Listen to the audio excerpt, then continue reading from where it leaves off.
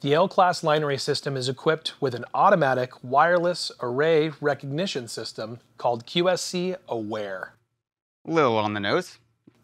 The Aware technology uses active internal accelerometers and infrared communication links within each loudspeaker to determine the status, position, and angle of each loudspeaker in the array, as well as the total number of boxes in the array and the global tilt and coverage.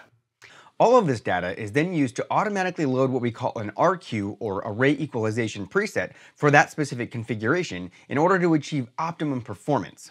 From there, the user can apply the recommended RQ using the controls located on the loudspeaker's rear user interface or via QSC System Navigator software. Let's break that down. After an array has been assembled and powered on, the array itself becomes self-aware. Don't worry, I'm not talking about a singularity. We're still years away from a robot uprising. Probably. Probably? Using IR for communication, each loudspeaker box associates with the other boxes up and down the array to determine its relative position and angle within the array. The information acquired by each loudspeaker is compiled to calculate how many total loudspeakers are in the array. With this information, it becomes possible to determine each loudspeaker's position within the complete array. And it does all of this within a matter of seconds, because computers are fast. It's pretty cool. And not at all scary. Without this system, the user would have to do all of this manually, which is tedious and not fun. Once all of this information is established, the system will then determine the proper RQ preset to load across the array, thereby optimizing the array for the best possible performance. This RQ array equalization can be applied using the rear controls located on the rear user interface of any of the loudspeakers within the array with the touch of a single button. What? One button. Yeah. Pressing a single button? Yeah. Why, why does this need a training?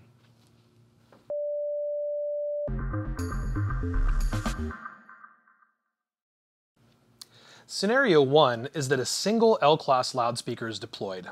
This is pretty simple. When the loudspeaker powers on, the QSC aware system will automatically determine the number of boxes, in this case 1, and the status of the loudspeaker. If the loudspeaker is in factory default settings, being either brand new or recently reset, the status bar at the top will turn green with a single loudspeaker in the total array. Both the gain and the high frequency shelf will be set to 0 dB, and the sensitivity will be set to plus 24 dB. If the loudspeaker is connected to the QSC System Navigator app, the network connection status will turn green as well. Otherwise, the status bar will be grayed out. The high pass filter and EQ will both be grayed out. However, the RQ array equalization will be active, which is displayed in blue. A single L-class loudspeaker in factory settings will have RQ array equalization. If the loudspeaker is in a state other than the factory default, one of two display variations will appear. If there is no change detected from the state in which it was last powered on, the status bar at the top will display green and all of the settings will be displayed in the state at which they were set to previously. If there are changes to the settings from the last time it was powered on, for example, if it was previously part of a multiple box array and is now powered on as a single loudspeaker, the status bar will display orange. All other settings will display in the state that they were previously set to.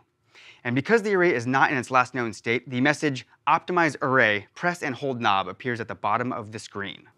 To engage the auto RQ array equalization, hold down the encoder wheel for 3 seconds as indicated. With this done, the loudspeaker will be reset to the default settings for a single loudspeaker. If the array compensation is engaged and you wish to undo the RQ array equalization, you can do so by pressing the back button within 3 seconds of the array compensation engaging.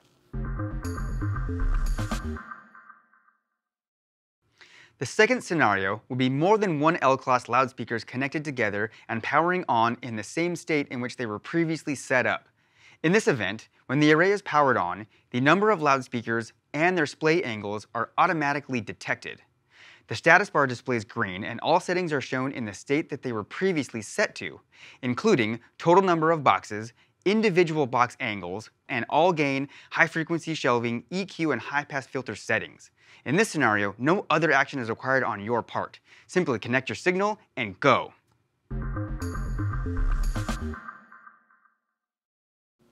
The third scenario is when an array is powered on in a random configuration with mismatched parameters from its last known state. Let's say you have the same inventory of speakers, but they don't always go back into the exact same location in each array every time. In this scenario, the status bar will display orange. The total number of loudspeakers will be displayed with the current loudspeaker highlighted in the array. From here, you can either press and hold the encoder wheel for 3 seconds to initiate the automatic array optimization process, or enter your desired settings manually via the rear user interface if you want to voice the system manually. Once the array optimization is complete, the status bar will display green and you're good to go. After applying the recommended settings, we suggest giving a friendly thank you to the system for all its hard work. That way, when the robot overlords take us over, at least they'll know you're a friend. It's also good to mention that the total number of loudspeakers recommended in an array is no more than six. If your array has more than six loudspeakers connected, you'll receive the message, not a recommended array, some features will be unavailable. If you get this message, you will need to disconnect some of the boxes so that the total number is no more than 6.